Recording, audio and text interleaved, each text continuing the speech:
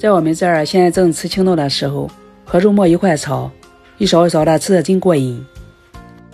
这是刚剥好的青豆，倒入水里，搓去表面的一层薄皮，然后把上面的一层薄皮倒出来，清洗干净，用漏勺捞出来控干水分，放到碗里备用。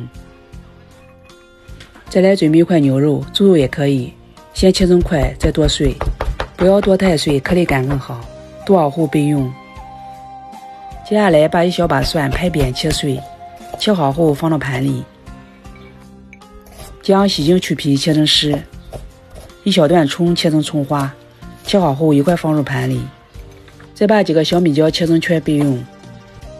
热锅凉油，放入肉末，翻炒至肉末变色。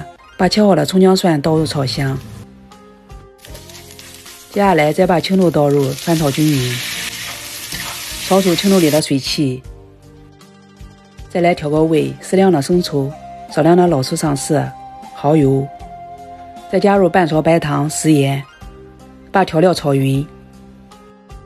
再倒入一碗清水，盖上盖子，中小火炖十分钟。炖好后，加入小米椒和水淀粉。大火收汁，鲜香味美，营养丰富，配着米饭或者馒头，一勺一勺的太下饭。趁着这几天青豆最鲜嫩的时候，喜欢的朋友一定要试一试。